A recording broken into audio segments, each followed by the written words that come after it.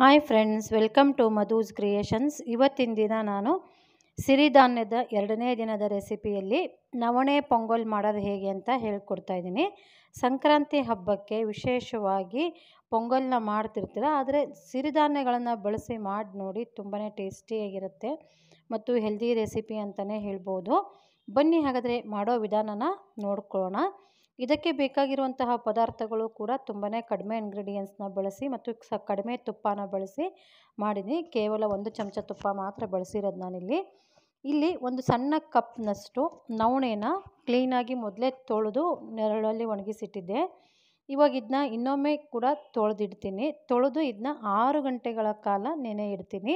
ಯಾಕೆ ಅಂತಂದರೆ ಯಾವುದೇ ಒಂದು ಸಿರಿಧಾನ್ಯನ ನಾವು ಬಳಸಬೇಕಾದ್ರೆ ಕನಿಷ್ಠ ಐದರಿಂದ ಆರು ಗಂಟೆಗಳ ಕಾಲ ಧಾನ್ಯಗಳನ್ನು ನೆನೆಸಿ ನಾವು ಉಪಯೋಗ ಮಾಡೋದು ಒಳ್ಳೆಯದು ಈಗ ಇದನ್ನ ಒಂದು ಸಾರಿ ಕ್ಲೀನಾಗಿ ತೊಳೆದ್ಬಿಟ್ಟು ಮತ್ತೆ ಅದಕ್ಕೆ ನೀರು ಹಾಕಿ ಇದನ್ನ ಒಂದು ಐದರಿಂದ ಆರು ಗಂಟೆಗಳ ಕಾಲ ನೆನೆಸಿಡ್ತೀನಿ. ಆ ನಂತರ ನಿಮಗೆ ಇದನ್ನ ಮಾಡೋ ವಿಧಾನನ ತೋರಿಸ್ತೀನಿ. ಹಿಂದಿನ ವಿಡಿಯೋದಲ್ಲಿ ನಾನು ಸಾಮೆ ಅಕ್ಕಿನ ಬಳಸಿ ಇಡ್ಲಿ ಮಾಡಿ ತೋರಿಸಿದ್ದೀನಿ.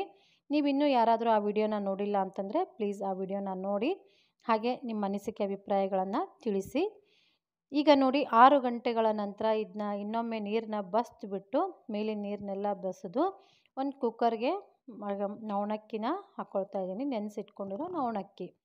ಆ ನಂತರ ಅದೇ ಕಪ್ಪಿನ ಅಳತೆಯಲ್ಲಿ ಒಂದು ಕಪ್ನಷ್ಟು ಹೆಸರು ಬೇಳೆನೂ ಕೂಡ ಕ್ಲೀನಾಗಿ ತೊಳೆದ್ಬಿಟ್ಟು ಆ ನವಣಕ್ಕಿ ಜೊತೆನೇ ಇದನ್ನ ಬೇಯಿಸ್ಕೊಳ್ತೀನಿ.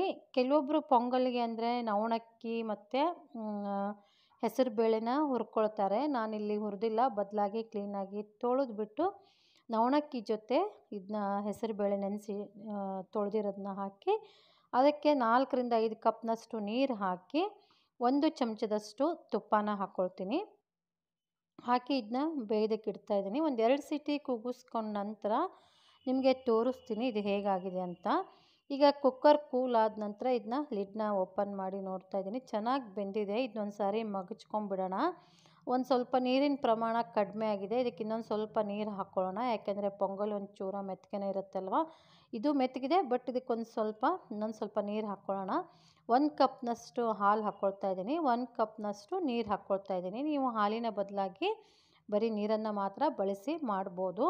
ಹಾಗೆ ನೀವು ಹೆಸರು ಬೇಳೆ, ನವಣಕ್ಕಿನ ಹುರಿದು ಬಿಟ್ಟು ಆನಂತರ ನೆನೆಸಿ ಕೂಡ ಮಾಡಬಹುದು.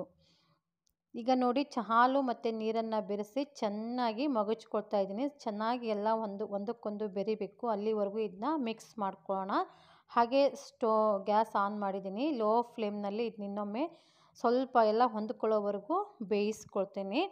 ಆ ನಂತರ ಚೆನ್ನಾಗಿ ಮಿಕ್ಸ್ ಮಾಡ್ಕೊಂಡ ನಂತರ ಇದಕ್ಕೆ ರುಚಿಗೆ ಬೇಕಾಗುವಷ್ಟು ಉಪ್ಪನ್ನು ಹಾಕ್ಕೊಳ್ತಾ ಇದ್ದೀನಿ.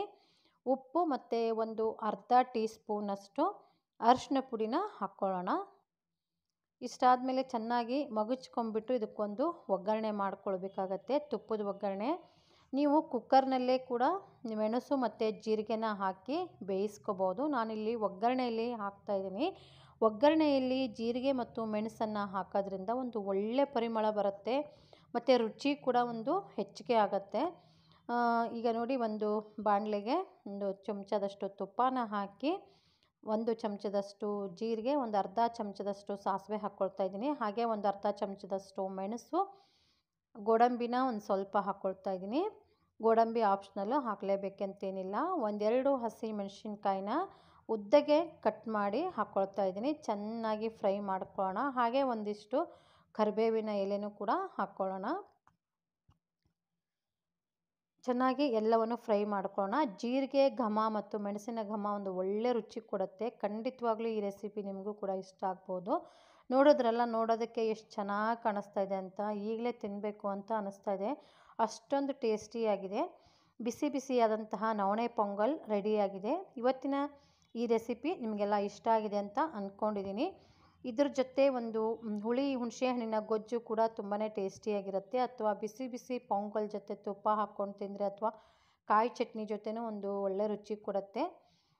ನೀವು ಯಾವುದಾದ್ರೂ ಜೊತೆನೂ ಇದನ್ನ ಕಾಂಬಿನೇಷನ್ ಮಾಡ್ಕೊಂಡು ತಿನ್ನಬಹುದು ನೋಡಿದ್ರಲ್ಲ ವೀಕ್ಷಕರ, ಇವತ್ತಿನ ಈ ರೆಸಿಪಿ ಇಷ್ಟ ಆದರೆ ಪ್ಲೀಸ್ ವಿಡಿಯೋಗೊಂದು ಲೈಕ್ ಮಾಡಿ ನಿಮ್ಮ ಫ್ರೆಂಡ್ಸ್ಗೆಲ್ಲ ವಿಡಿಯೋನ ಶೇರ್ ಮಾಡಿ.